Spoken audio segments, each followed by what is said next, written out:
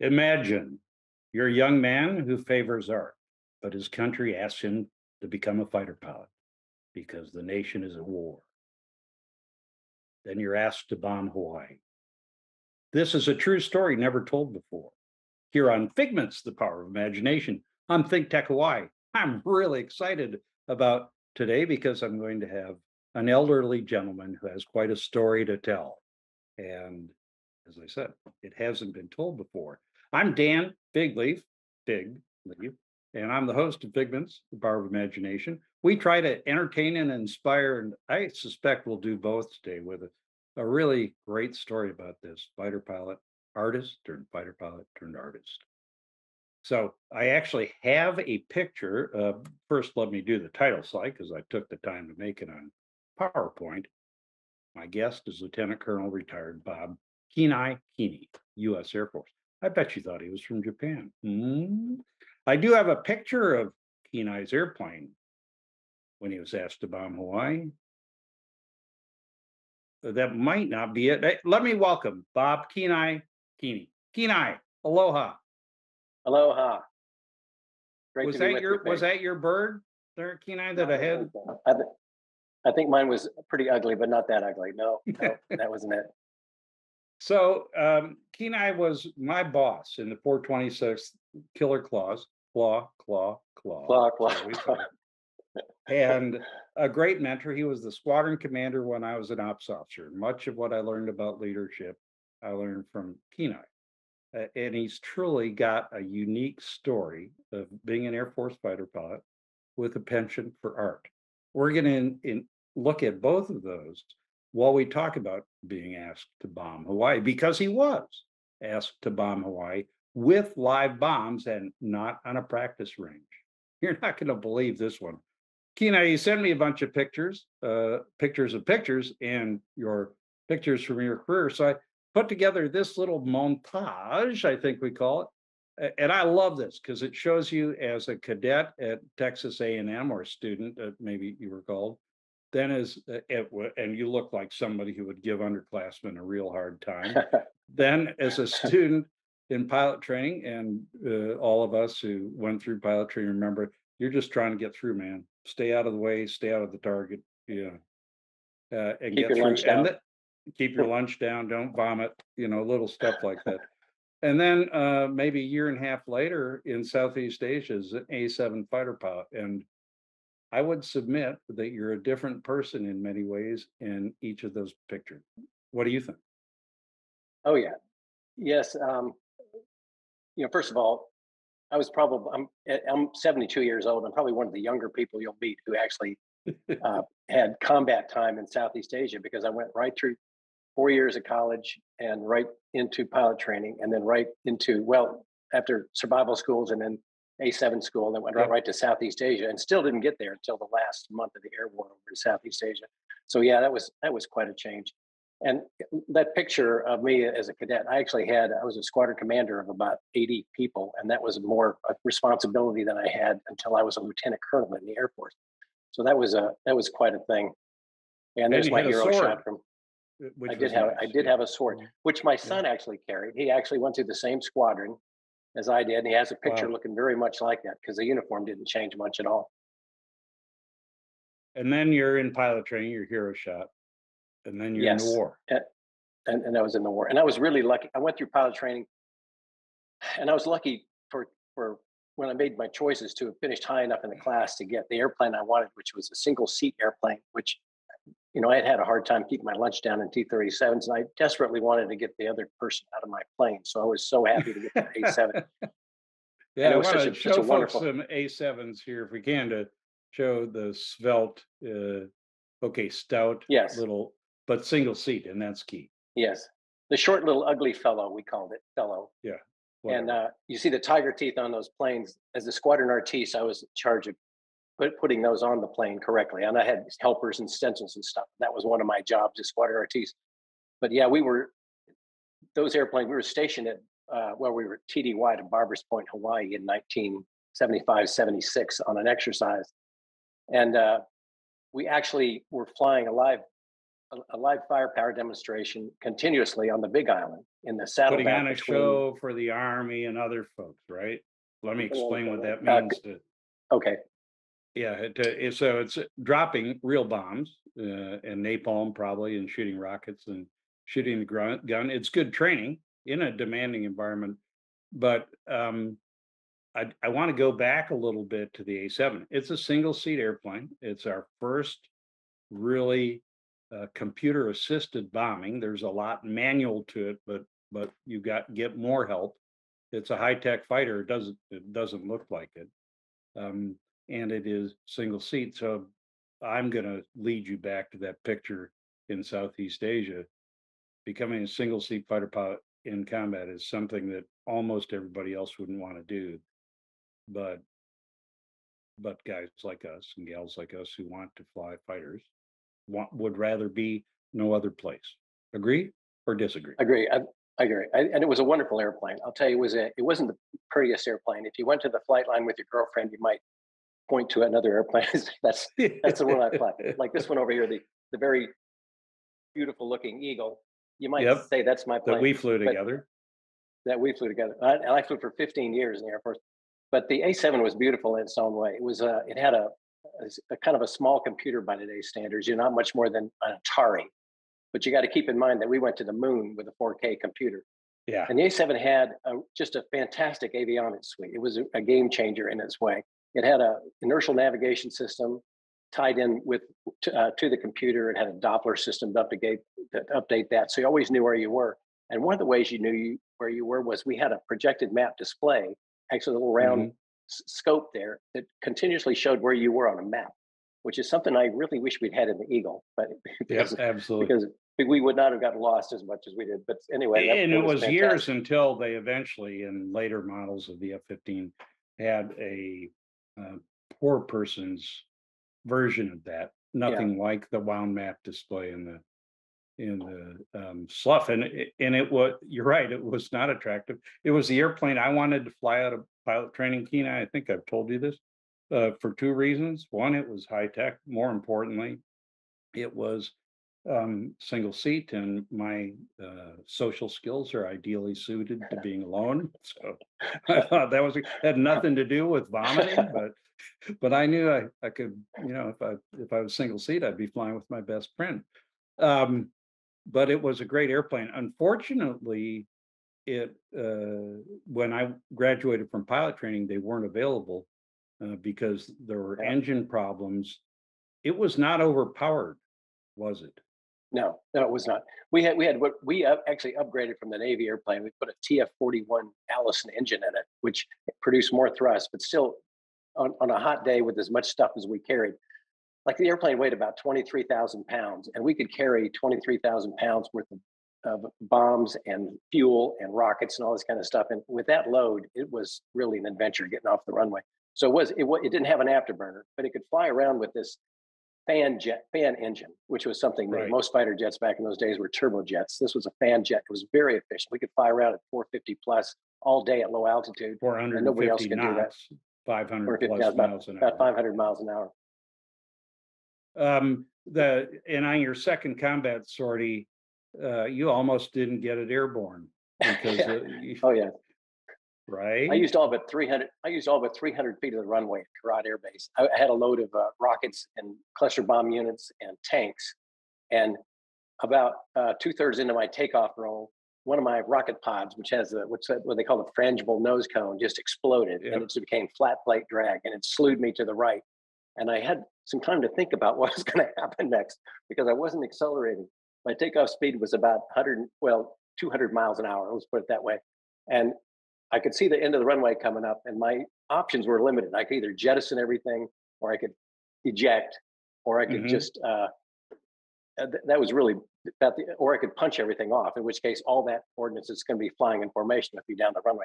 So I barely, I did make it off the runway in the last 300 feet. I disappeared over the horizon. People were looking for smoke out there, and basically, I managed to just barely keep the airplane airborne in ground effect until I got enough airspeed to join my leader, who wondered where the heck I was at this point. And then we continued on down to Cambodia So- to do our mission. to do your mission. So people might think you you must have been terrified. I'm going to answer for you. Um, Yeah. just so we can stay, you're not, you're too busy to be terrified. Yeah. And I suspect if it does kill you and you're be, you know, you're gonna be a flaming mess in the, on the terrain, that there's, there is a second where you actually are terrified. But once you fly out of it, you feel, yeah, I did that, you know, pretty cool. Yes, you, you get kind of tensed up a little bit, but you're you are thinking fairly fast. I was what we used to call cutting buttonholes in my seat cushion. Those of you with imagination know what I'm talking about here. Right.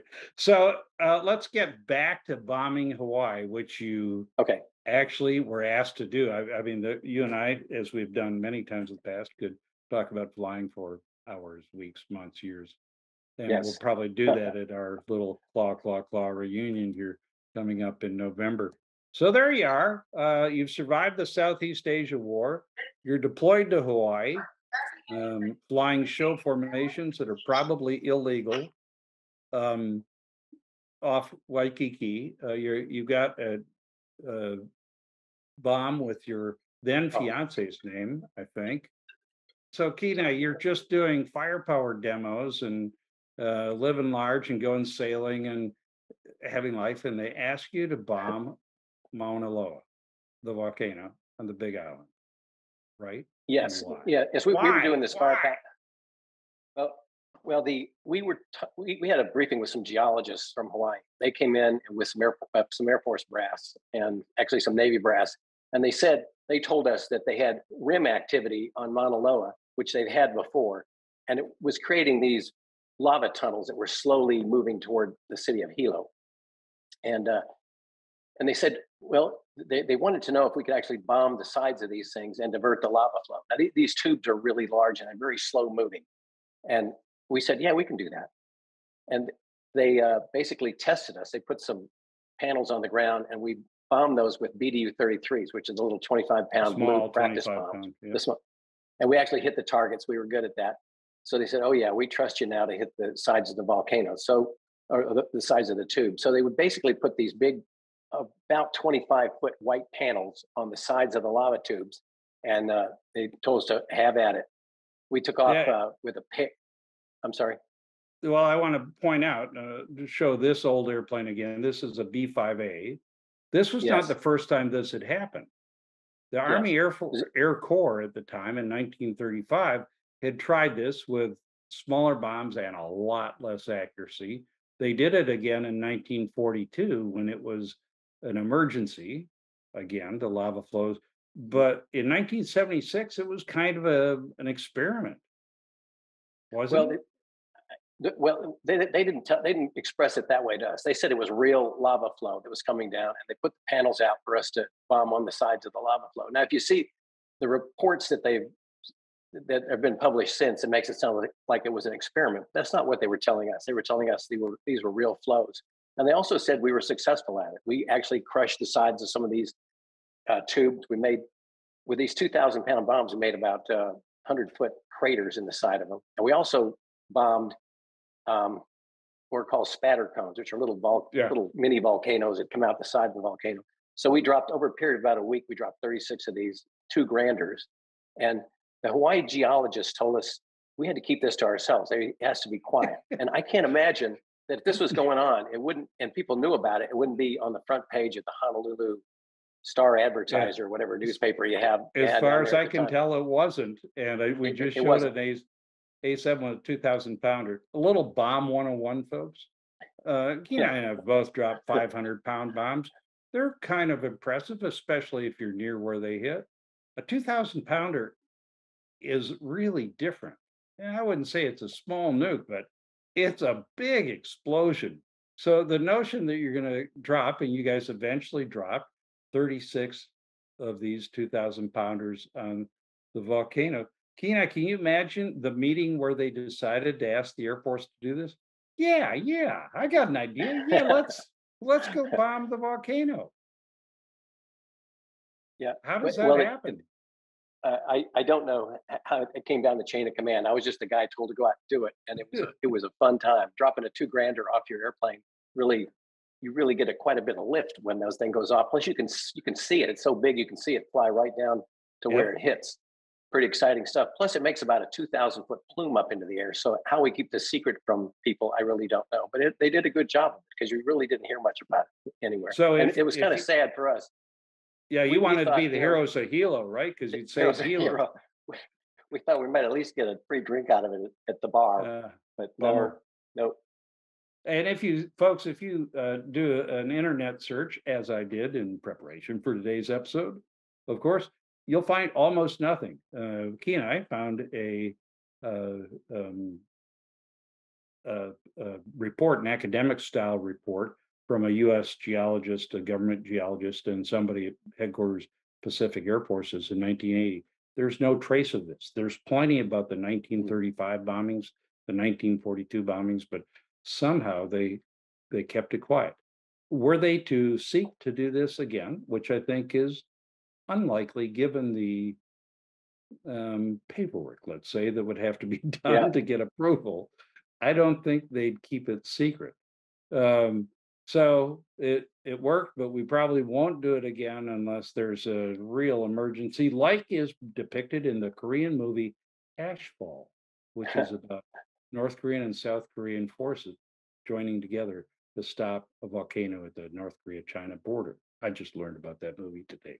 So let me take a very quick break and uh, tell you that you can find the uh, episodes from previous editions of Figments, the Power of Imagination and Figments on Reality, the show I did for about a year, uh, at these QR codes. So feel free to scan that. We'll leave it up there long enough. And of course, I will be back next in two weeks with another show. I'm not sure what it will be. Probably about flying because that seems to be pretty popular. Okay, so uh, as I said, I worked for uh, Keeneye, and he's one. Of, he was a tremendous mentor, uh, but we knew he had artistic talent because we had paintings in the squadron that he had done.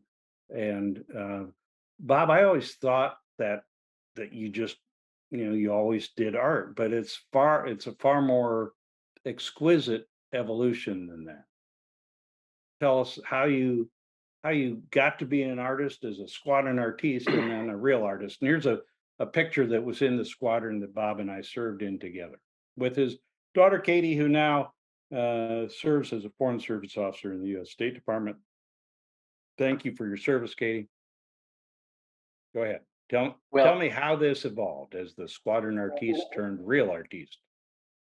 you know, I can always draw well, and then and then later I started to paint, especially when I got into uh, uh, the, some of the fighter squadrons. I thought they, they needed some uh, aviation art on the wall, so I started doing that. In fact, when I was at Langley in 1976 when the first wing started up there, and I had a one of the Bitburg squadron commanders, Fred Fitzsimmons, came through and saw some of my paintings and said, "Did you do this, Ken- Keeneye?" I said, "Yes." He said, "I need a squadron artiste," and he got me orders within a week to go to Bitburg. He didn't say, I need a really good pilot or anything. He says, "I need a Yeah, squadron but- artiste. But you were a good pilot, and I, I would just point out, Keeneye, that every every good fighter squadron, as we both know, has a unique collection of talent. And there are a few Yes. things you need. You need an artiste. You need somebody to make sure the bar is nice wood. Thanks, Doc Doolittle. He was not a pilot, Yes. but but Doc gave us the. You need a piano. Must have a piano player. We'll see Yeah. piano player, Dave Lewins in Arizona um, and uh, and so on. You've got to have this collection of talent. You have to have. You want to win the golf tournament, you have to have one good golfer. That's exactly why we hired Smutty Smith in the squadron. He was an incredible fighter pilot, but this collection of talent makes a good squadron great. So you were and I have to say. Fig, I have to say, Fig, I, w- I was the squadron commander and also the squadron artiste, and you were the ops officer. We had the best fighter squadron that I have ever been in. It was amazing. We had the ma- a Yep. most amazing group of people who worked together really well. And we not only taught those guys how to be good F-15 pilots, we taught them, we showed them what a fighter squadron is supposed to look like. And I, I really think that a lot of those Yep, guys went agree. on and later said to themselves, if I ever get to be a squadron commander, I want it to look like this because we had such a great team and you were such a great ops officer. You made it really easy for me to do my job. It's fantastic. So and thanks. uh, So I was really, really, Yeah. really proud of your uh, climb up the ladder. Well, thanks. So um, you did a bunch of art throughout your uh, military career. Um, and that includes later at there, here's an A seven with artistic license based on the Yes, volcano bombing, because it has two Mark eighty-fours on, Yes. on each wing. And it's the wrong landscape, that's from Kauai as opposed to the Big Island. But that's a pretty, uh, you know, in the past, had I not, we not had this conversation, that's a pretty simple painting. You know, it's kind of an airplane and the landscape and I'm colorblind, as you may or may not recall. Um, but, but I think it looks okay, but uh, what later, after uh, you work for the airlines, you like to say you work for a nonprofit company, um, American Airlines. You, Yes. your paintings are more refined even when they're airplanes, and I'm showing this because uh, this is a painting of my jet in combat that we'll get to there. And folks, um, let me unblur my background here, and you'll see it behind me if that's the painting up above my head there. So um, that's more uh, sophisticated, frankly. How did that evolution to become a real artist happen? Well, well, well, like you said, I had a I, I had a relatively perfect career in the Air Force. I spent 20 years just flying single seat fighters, and when I finally got out in uh, 1991, I had a lot of time on my hands. I like three or four days a week off, and I decided, among a lot of other things, I was going to make a deep dive into art and learn how to do it. So I started. I got some books on the way the old masters learned, and the way the old masters learned was painting copies of old masters. So I started making reproductions of things, a lot of, a lot of bad forgeries of other people's pictures. but I learned a lot of things like uh, like how to prime canvases and how to do underpainting. Oil painting takes several layers. It's a lot of patience. And that picture, that, that picture, yes, I think is a really nice picture that it has a lot of cool elements in it, including the reflection of the afterburner, you know, the kind of a hazy day that you have at Aviano quite a bit of the time. And, Yeah, it and the was- ordnance you're taking off with, it really has a sense of purpose, I think. And and I have to say also, Fig, for people who don't know it, Dan Leaf was the uh, wing commander there as a one-star general, commanding the Air Force's largest composite wing in a very righteous exercise called Allied Force. It was uh, 1999, and it was one of the most successful uses of air power in Air Force history. And uh, it, it was basically to keep uh, the Republic of Yugos- Yugoslavia from committing genocide against uh, Kosovo Albanians. And it was so successful. We very few civilians got hurt. Almost nobody on our side got hurt. It was over in a couple of months. It turned the government over. And the reason you don't know about it is it was so successful that people don't remember it. It seems all we remember is our Mhm. failures. So Yep. uh, I think that would be the dream of every fighter pilot is to be in that position, Fig, to be that wing commander, taking off and leading those people on that uh, on that mission. It was the easiest job I ever had because I had people like us working for me in a righteous cause. And I had the example that you'd provided. So, Oh, oh, Thanks. thank you. but, but let's get back to art and. uh, Okay. So you, I, I love that painting as well. I've got my jacket behind me on the chair that you painted a claw eagle on and that I received at the Pearl Harbor Aviation Museum Yeah. at my retirement That's right. roast. I got what quick aside on that. An Army general officer, I retired as a three star. I don't believe it either.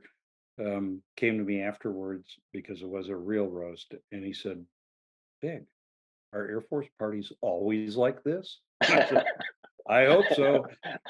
so um so anyway you um you progressed technically and one of the paintings you uh sent me as as an exam example is this photo of apples and that looks like an exercise in artistic perfection to me is that a good way was this Yeah. like practice and getting it as as perfect as you can Yeah, it's, just a good example of still lifes. I've, I've doing a lot of very, very finely detailed still lifes on masonite board, which is quite, takes quite a bit of patience. But I've got I've got a whole raft of these kind of things around the house. Yeah, um, that took me about like six seven hours to knock that out, and it, take, it takes several layers, and it's uh, a little bit of finesse. six or seven hours, it would take, well, I couldn't do it. It wouldn't take me a certain time. You also, you talked about um uh the masters and uh copying them, not counterfeiting, but practicing. This one, uh, because of both its striking beauty and the story behind it, uh intrigue me because they reflect you as as I know you. Tell a little bit about this painting, please. Yeah, this is called the this is called the Fighting Temeraire being towed to be broken up. It's actually one of the most famous pictures that you'll find in England. It, is it's very evocative, as as an artist might say. What it is, this air this airplane, this ship, the Temeraire, was in the uh, Battle of Trafalgar, and it was mm-hmm. a hero ship. It actually had subdued two French ships on either side of it, pounded them into submission, and um, and later, beca- it was later, of course, decommissioned and became kind of a hulk. And what this picture, the painter, the, the guy who actually did the original, J.M.W. Turner, uh, England's greatest landscape artist, he actually mm. painted this p- picture. The idea was here you have this ghost ship being towed up the Thames River by this newfangled steam machine to be broken up. And really, what it represents at the time was all of the old soldiers of the Napoleonic Wars that were kicking off, just like our World War II wow. veterans are, and and even our Vietnam veterans are nowadays. So it's something I think you and I can relate to a little bit. Wow. um, uh, uh, and and you paint a lot for other folks. You don't. Um, maybe you make some money. We have your website. Uh, if you look for Bob Keeney Fine Art on Facebook, you can find it there. And I, I think we've shown the website during the show. But you paint for other people. For example, I went into um, a Chilean uh, defense school office where the Air Force two star was in charge, but he had a picture of a, ship behind him. And I said, dude, you're a fighter pilot, man. I'm horrible. Why do you have a ship? And he and I graciously painted a beautiful picture of a, a Chilean F 16 like my friend Eduardo Mann had flown. So you, you, you give a lot uh, of yourself in your artwork, and that's pretty cool. Uh, got one more picture, I think, of your nurse, as we call her. Yes. Barb, uh, you guys are a great team, and um, I can't wait to see you in November when we have our little reunion. Um, there, there's so much that we could talk about, not just from what we've talked about already, but uh, from our time together. Uh, but let me ask you what your next figment is. I tend to close with your next figment. What's the next thing you want to do? Could be the next painting, could be the next uh, getting getting over some recent surgery and starting to ride your bike again. What what's next on Bob Keeney's list? Well, the next thing uh, for me is learning to walk again. I just had my right hip replaced, so I'm getting around with a cane. I've been spoiled by my my nurse wife for for about five weeks now, so I'm hoping to get better with that. I and bet I she's as anxious a, for your recovery as you are. Yes. and Smurf asked me to make a, a print for the reunion, and I'm, I'm I'm putting that together. I'm thinking of doing a Bob Keeney original print for this, uh, a painting for this uh, for this November reunion, which should be a lot of fun. 426 Killer Claw Claw Claw.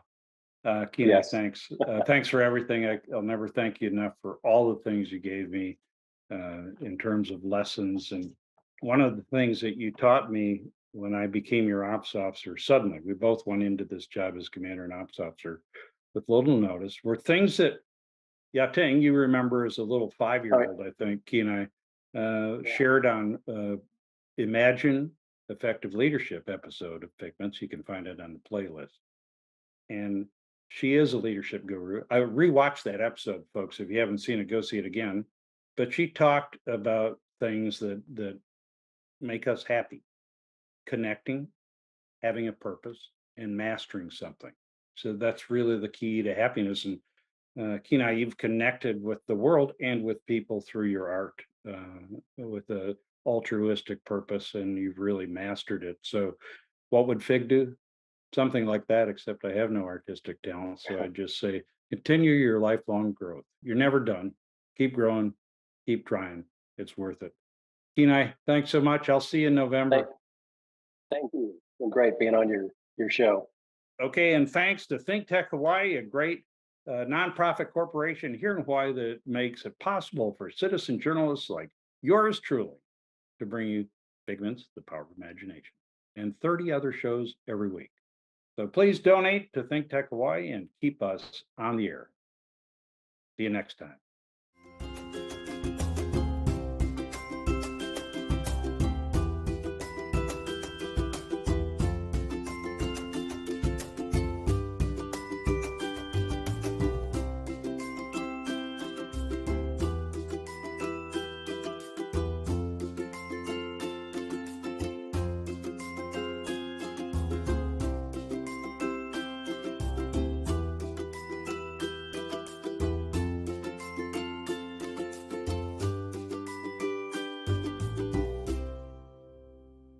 Thank you so much for watching Think Tech Hawaii.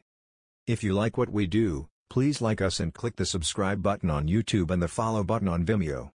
You can also follow us on Facebook, Instagram, Twitter, and LinkedIn, and donate to us at thinktechhawaii.com. Mahalo.